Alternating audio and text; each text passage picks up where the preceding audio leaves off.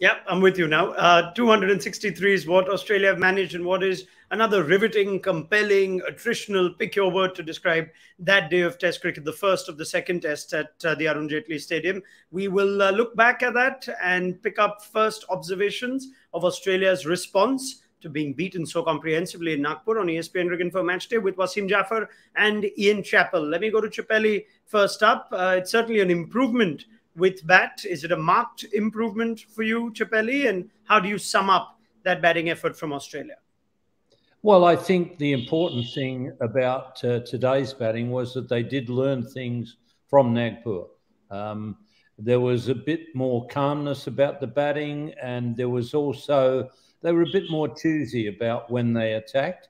Uh, there were a couple of times when I thought the pitch looked pretty dead, and the Australian uh, partnerships uh, looked solid, and it looked as though Australia could get up towards 300, maybe even more. But then India, when they struck, they seemed to pick up a couple of wickets, and then there'd be a break, and then a couple of wickets. So India did well in, in striking a couple of times because Australia, to me, I, I think there was uh, early in in the game with Handscomb and uh, uh, Khawaja together. They look very comfortable, and then later on, um, uh, Handscomb and Cummins looked very comfortable. And I thought to myself, this pitch isn't playing too many tricks. Uh, a, decent score could be on the cards. Um, so I, I, thought the batting they definitely learnt from Nagpur.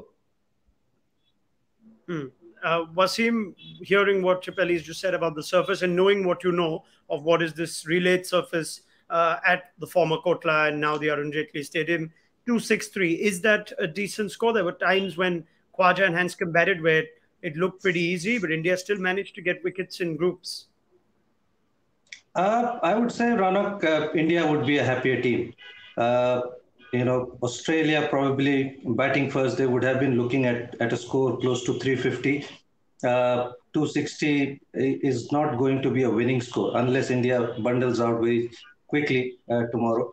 Uh, but if India get past that score or takes a decent lead, then then Australia is going to be under pressure. So I feel they are still 70, 80 runs short. Uh, you know, they would have wanted 350 uh, because that's the best time to bat. And if you don't score, uh, you know, pretty big score in the first inning, uh, in the second inning, it's going to get even harder uh, with that pitch going low and low. And the fast bowlers will come into play, and obviously the ball spinning, so spinners will do their job. And, and the fast facing the fast bowling, I feel, will be even more difficult. Mm, all right, it's it's one of those first inning scores to that we'll better judge once we've seen how India respond to it. There were a couple that went ankle height to KL Rahul on the first day, just towards the end of the day from Nathan Lyon. So we reserve judgment on the surface perhaps till we see India bat more. But let's talk about Australia's effort with the bat. Uh, let's start with the two prominent innings. First, Usman Khawaja Chappelli. Uh, what was different today about Khawaja from what we saw at Nagpur? What made what made things work for him? Well, you, you know, you can't really bring Nagpur into it with Khawaja. He was out uh, cheaply and early in both innings. Um, but uh, I thought he was quite proactive. He used the reverse sweep um, uh, to effect. Uh, and I think he frightened the Indians a little bit. I, you know, it's it's hard to tell as a captain who who captained well before the bats became bigger, uh, and so you understand that captaincy is a bit harder now because of the size of the bats. But I still think that you've got to keep fielders in place to take catches rather than reacting to some of the shots. I thought there were times when mm. India reacted to the shots, i.e., the, the sweep shots, and placed field for those rather than keeping guys in catching positions. I, I don't think you know, there's the odd person who can reverse sweep really well, um, but not many. And I think if you keep fielders in catching positions, i.e., uh, 45 backward square leg and backward point, uh, have them as catching men. And I think uh, sooner or later, somebody who reverse sweeps or sweeps, if you get the ball to bounce a little bit, you're going to catch the top edge, and that's where the ball goes. But uh, to his credit, Khawaja, I think, um, uh, pushed the field back and he was then able to take advantage. Handscomb has always had a reputation for being a good player of spin bowling. Um, here again, he, he did play spin bowling well, but look at his chart where the bulk of his runs were scored on the offside. Uh, if you know that as a fielding team, you've got to try and make batsmen do something that they don't really want to do. And in uh, Handscomb's case, that score a lot of runs on the onside. He much prefers scoring on the offside. And I think that India, um, having seen him a bit now, they've got to try and cut down on the number of runs he gets through the uh, offside. But I think the important thing for Australia was a couple of their main players were much more proactive uh, than they were uh, previously. Yeah, yeah, I think fair enough. We've got more. We got...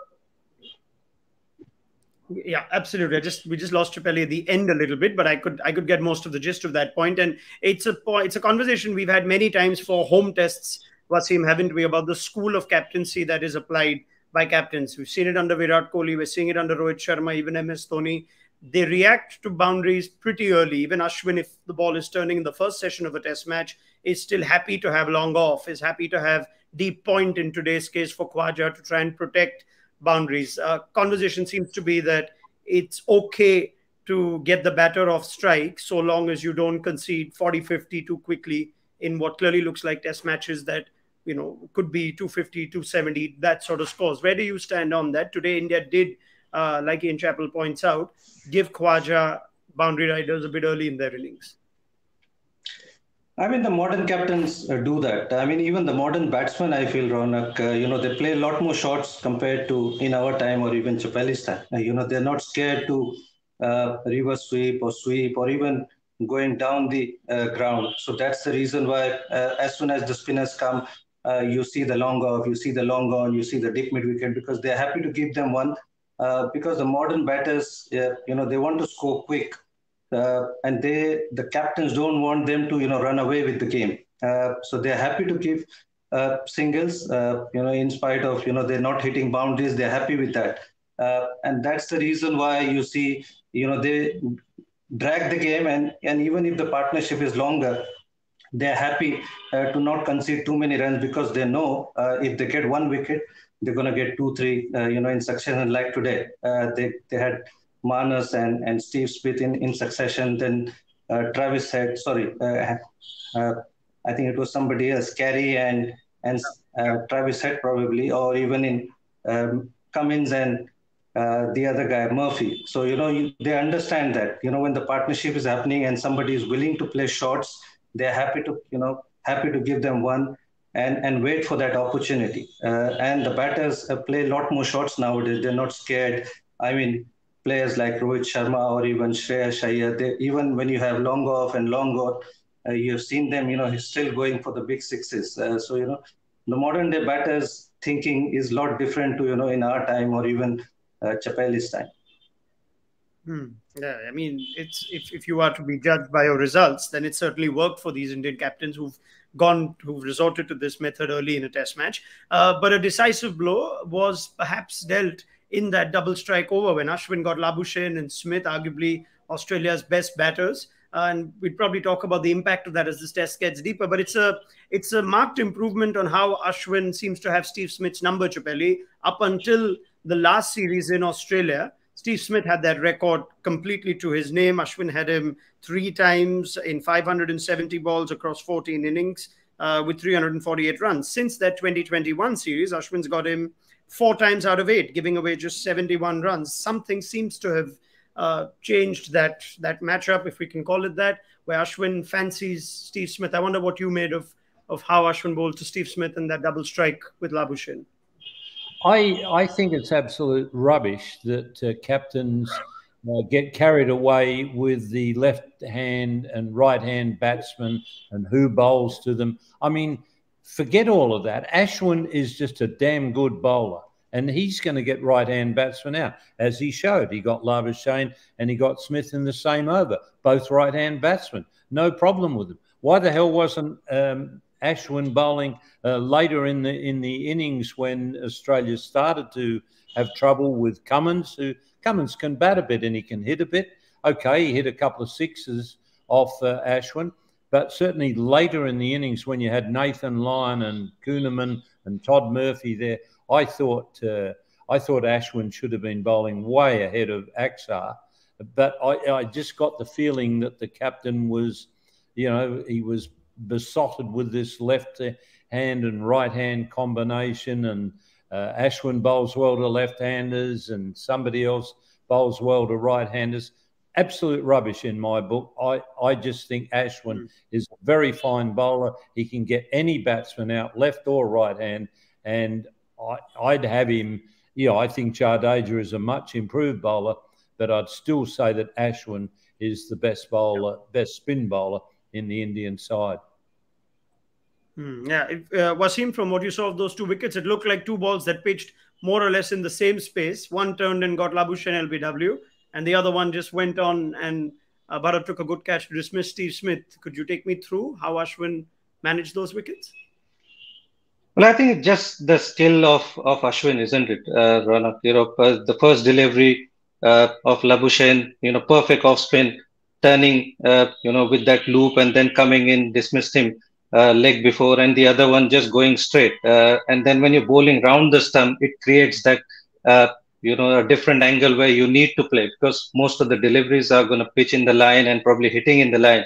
So you want to avoid getting lbw uh, when you bowl over the stump sometimes uh, you know that impact can be outside of some so you can get away.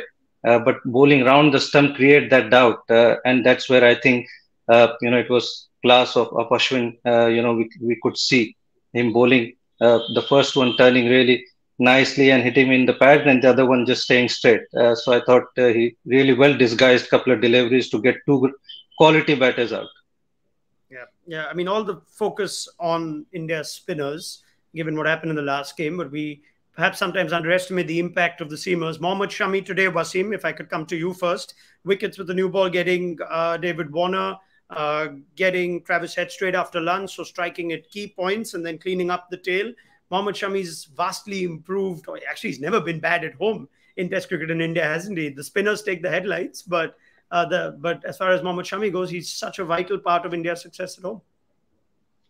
He has been, and, and most of the bowlers, Bumrah, Shami, uh, and even Siraj lately, uh, you know, the Indian pace bowlers on, on Indian conditions are far too good. Uh, uh, even in the second inning, Shami has been brilliant. Uh, and like I've said, when the pitch is little up and down uh, on a black soil, which is skidding on, not not too much bounce, uh, the fast bowlers are pretty difficult uh, to face. And then again, uh, you know, he's creating trouble uh, to David Warner again, getting him out, coming around the stump. David Warner has that that problem. Uh, he's had a lot of problems with Stuart Broad bowling around the stump, and and again he's got out in the similar fashion. And and you could see David Warner's approach. you know, where is Usman Khawaja, Chappelli has talked about. You know, even though he had a couple of failures in the Nagpur, he came out with that aggressive mindset. Uh, you know, you couldn't make out that, uh, you know, this guy had failed in a couple of innings in Nagpur. He batted in that same fashion. Whereas you could see David Warner, you know, much more defensive, 21 balls to get off the strike, get the first run, uh, not the old uh, David Warner we could see. And that's that's what we wanted, David Warner to play, you know, be the old David Warner. And he's had he's had his troubles bowlers bowling around the stumps. So I thought Shami has been spot on, you know, uh, taking wickets with the new ball. Uh, Siraj did that last time as well. Uh, Mohammad Shami did that, uh, and and it's a handy, uh, you know, for the fast bowlers, for the Rohit Sharma to have two quality bowlers operating like that. And Shami has been brilliant, like you said. The Indian fast bowlers have been brilliant on Indian pitches. Yeah, really good ball to get David Warner as well from Mohammad Shami. Chappelli, would you read too much into Warner's innings today? Well, the one the one thing I'd say in favour of David Warner is at least he's been good enough to nick him, and um, he, he's he's gone through quite a patch of nicking balls that other players are playing and missing. Happened to him in England, uh, and it's happening again to him here in uh, India. He nicked that one today when a lot of other batsmen were playing and missing. But I, I think, you know, the point you're making about the Indian fast bowling, that could be an area where Australia um, uh, are a bit um, uh, regret some of the selections, only having the one fast bowler and having to open with the spinner. Sure, Kuhnemann bowled okay, but not having that other seamer um, to back up uh, Cummins, I think they'll regret that. And the other thing, the other point I'd make about comparing Ashwin and Lyon, um, look at the balls that Ashwin bowled that, that either curved away or pitched off stump a little bit outside off stump. And with uh, Labuschagne, he got the LBW ball coming back from outside off stump. Smith, the ball that went straight on just outside off stump. Have a look, even tonight, just in a couple of overs, have a look at how the Indian batsmen were playing Lyon on the onside. It happens far too often. Uh, I think that the line, uh, the, the line that Ashwin bowled is a far better line than the one that uh, Nathan Lyon bowls. Does that surprise you to a degree, Chappelli? Given his vast experience, he's had success in India before. Something just off the radar for Nathan Lyon? I, it, to me, it's always been a problem for Lyon. You, you've got to far too many runs are scored by right-hand batsmen on the onside from the bowling of Nathan Lyon. That when you see that, that tells me that the the guy is bowling too straight at the stumps. I think it's something that uh, Todd Murphy did in the last test. But he's a bit quicker and a bit flatter. He bowled to contain the batsman, and then the batsmen were getting themselves out quite a bit. But to me, Lyon, as a bowler who flights the ball a bit, he gets some bounce, but you've got to get that curve away. To me, uh, the ideal way to get batsmen out, particularly in India, is to curve away, spin back. Now, if you do that, as Ashwin did twice in that one over, you you open up the the edge behind the wicket, either keeper or first slip. Uh, obviously, you can come through the gate and bowl the batsman. You can get him LBW as he did with Labuschagne, but it also opens up the bat pad. If you're going to bowl round the wicket as an off spinner and you're going to bowl at leg stump, for I, as a right hand batsman, you'd be pretty cranky with yourself if you got out bat pad. So I, I think, but Lyon's problem has been, unlike Ashwin, he doesn't seem capable of curving the ball away from the right hander and then spinning it back. Right, interesting to see if we see a more successful Nathan Lyon in this test match. Uh, quick word on Matt Kuhnemann from you, Wasim. Chappelli's pointed out it's only the four overs, but we've had a first look at him. First time Australia using the left arm spinner in this series. Took the new ball as well. Will he be asking some questions? He did beat the bat or force a nick or two of Rohit Sharma towards the end of the day. I think he looked impressive, uh, even though he bowled only few overs. Uh, but but he bowled with good pace and he bowled good lines, uh, and the wicket will assist him. Uh, and any right-hander facing a left-arm spinner uh, is going to ask the question. And the way he's bowling, uh, you know, it's going to be important day how India deals with Kuhnemann. even though you know Nathan Lyon and Todd Murphy will will be a challenge as well, but I think Kuhnemann will keep them in the game. Hmm. Not a lot of spinners from Australia in any era, Chappelli, that would have bowled their first ball in Test cricket with the new ball. No, it's not something that you see a lot, and and I really do feel that um, that could be a mistake in the end, not having another quickie there to help um, uh, Cummins, particularly on that track. I thought that pitch in Delhi uh, helped the quickies a bit. There was a bit of movement around for both Shami yes. and Siraj. Um, I, I, thought that Cummins uh, troubled the batsman a bit with that new ball, and I think if you'd have had another quickie at the other end, um, he could have troubled the batsman as well. So, and the other thing is, it's interesting to see how bowlers bowl early in their spell. And bear in mind that India only had a few overs to bat tonight, and therefore they're going to be a bit cautious. But they'll play a little bit more, hmm. a little bit differently uh, later on. And what I want to see is how's the bowler bowling you know, when he's bowling his 15th, his 20th over, his 25th over, that's when you have to keep bowling well. The other thing I'd say about India, it seemed to me that they used the small roller, which is a complete waste of time. You might as well walk up and down on the pitch. You'll just do exactly the same thing. You either use the heavy roller, which I and I'm told this by groundsmen, so it's not something I'm sprouting. That's I, I did the first time as captain. I said to the curator, uh, give me the small roller. He said, mate, if I walk up and down on the pitch, I'll do just as much good. You can have it if you want it, but it won't do you any good. He said, I'm telling you, have the big roller. It doesn't break the pitch up and it'll just calm things down. You might get a half an hour of calmness out of the heavy roller. So I think that's something that India should start with uh, day two. Mm. Wasim, anything you want to add on that, knowing our conditions as well? The for the novices, the difference between using uh, a heavy roller and a light roller on these sort of surfaces, which are turning from day one. Well, yeah, I mean, uh, the captains are apprehensive because when uh, you know that's the perception that if, if, they use the heavy roller, you make more damage to the pitch. Uh, that's the reason why you know the teams or the captains in the first inning they don't opt for that. They'll probably opt for that in the second inning, so so the other team you know feel that uh, the pitch will break up. Uh, so it does make sense, uh, you know, when you have the heavy roller, the pitch settle downs for a bit, and that's what India wants. India doesn't want to lose early wicket at the you know first half an hour or hour. It'll, it, it will make sense because India would want to bat you know once and probably bat big uh, you know if they get 50 70 100 run lead like they did in nagpur uh, then it will be game over so you know thinking in that sense uh, they won't mind taking a heavy roller tomorrow morning all right. You think so much rides on which team is ahead after the first innings with bat for both sides. So let's pick up the chat tomorrow. Thank you very much to Ian Chappell, as also to Wasim Jaffer. More from them as this test match goes on. Join us at the end of day two on ESPNcricinfo Match Day.